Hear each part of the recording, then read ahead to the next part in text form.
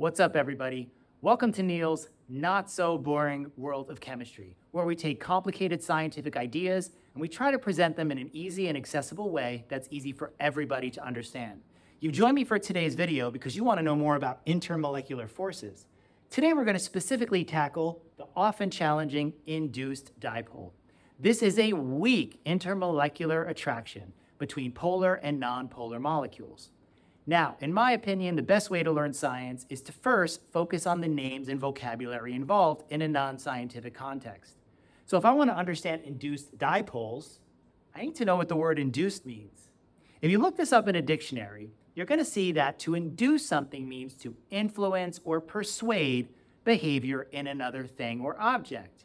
So for example, by the end of this video, I hope I've induced you to hit the like button, subscribe to the channel, and turn on the notification bell. So we're going to talk about how when you have a polar molecule and a nonpolar molecule, they can actually be attracted to each other. Now, as an example, I have the very famous water molecule in this hand and the well-known carbon dioxide molecule in this hand. Now, I hope you know that water is extremely polar, and carbon dioxide, with its lack of lone pairs on the central atom and its symmetry, is very, very nonpolar. If this topic is confusing to you, how to judge a polar molecule from a nonpolar molecule, please check out some of our other content where that's explained. Now, to really dive into this and to understand how a polar molecule with a positive and negative region could be attracted to a nonpolar molecule with no positive and negative region, let's go into the lab and take a deeper look. Hey, what's up everybody? Welcome back. We're here in the laboratory ready to do this easy demonstration that's gonna make induced dipole intermolecular forces so much easier for you to understand. Now, I need a polar and a nonpolar molecule. In order to model that, I'm going to use this balloon, which as you can see is our polar molecule with its negative end and positive end.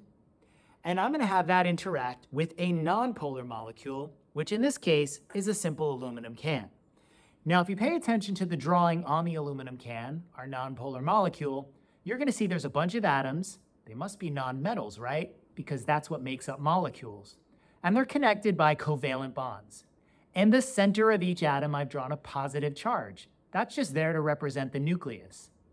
Strewn about in an evenly dispersed way, there are electrons. And again, notice that the electrons are not concentrated on one part of the molecule, but they're evenly distributed. This was very intentional.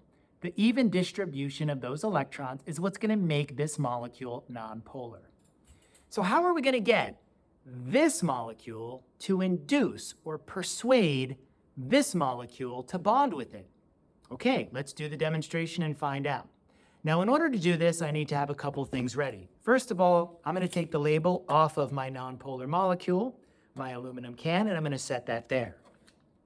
Next, I need to actually make my balloon charged. I know I've written these symbols on here, but balloons don't naturally have a concentration of negative charge on there.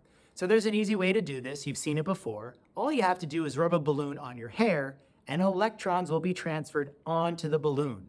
So that's how I'm gonna make this balloon polar in a sense. Let's do it. Give me a second here to put some electrons on this balloon.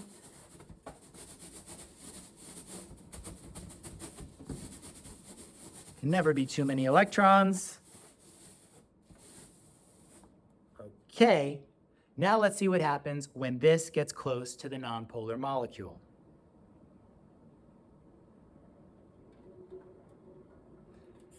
Amazing. There's no strings attached, people. This balloon was able to pull the nonpolar molecule towards it, and we need to understand why, because it's actually a great model for the induced dipole interaction. Okay, we're finished. Now, when I first showed you this nonpolar molecule, I said to pay close attention to the fact that the electrons were evenly distributed. But remember, electrons can move. They're mobile. They're not locked into position. Also remember that when you bring two objects close to one another with the same charge, what happens? Yup, they repel. So, in fact, when I brought my balloon close to my nonpolar molecule, As the negative charge of the balloon comes close to the molecule, the electrons are repelled. And as you can see in this image, they're now on the far side of the molecule. So they've been pushed all the way to the other end of the molecule. And what you see on this end of the molecule is just the positive nuclei within the atoms. Now, in reality, not all the electrons are pushed all the way over there. Might just be the valence electrons. Doesn't matter though. By pushing the electrons over to the other side, now this nonpolar molecule temporarily has a negative end and a positive end. What's going to happen then? Well, the positive end of the molecule is going to be attracted to the negative end of our polar molecule. So that's how an induced dipole works. Okay, let's summarize what we've learned in this lesson. Okay, so what is an induced dipole attraction? This is a type of intermolecular force. And remember, intermolecular forces connect one molecule to another. When does it occur? This is going to happen when nonpolar molecules get really, really close to polar molecules. Let's look at an example. Here we see NH3 bonding with O2. In the upper left-hand corner, we can see that when O2 is alone, it's very nonpolar. It has no positive or negatively charged regions. But in the bottom right-hand corner, it's been persuaded by the NH3 molecule to have a dipole we can see the small yellow line between the positive end of the NH3 and the negative end of the O2. That's the induced dipole attraction. In another example, we can look at H2O bonding with CO2. Again, the CO2 when alone is nonpolar. But in the bottom right-hand corner, we see another induced dipole attraction. The polarity of the water molecule has persuaded the CO2 molecule to have a dipole. Why does it occur? If we look at this drawing, we can think back to the experiment that we did. As the polar molecule gets close to the nonpolar molecule, the electrons are repelled. This means that they migrate to the far end of the nonpolar molecule. As you can see in the picture, when the electrons move to one end of a molecule, the other end has a partial positive charge. The pink arrows are representing the intermolecular attraction between the negative end of the polar molecule's permanent dipole and the positive end of the nonpolar molecule's temporary induced dipole. Let's talk about intermolecular force strength. An induced dipole is not as strong as a permanent dipole.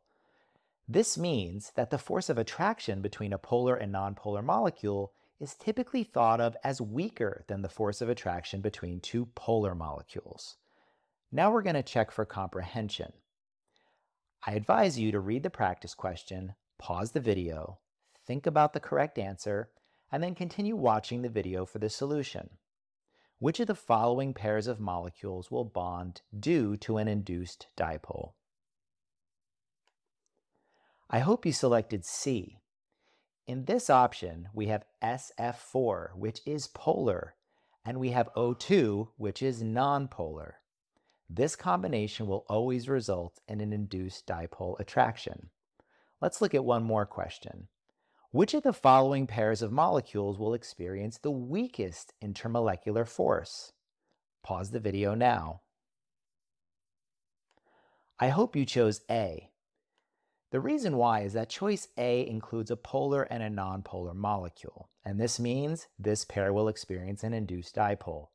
All of the other choices include two polar molecules, and these options will experience a dipole-dipole force.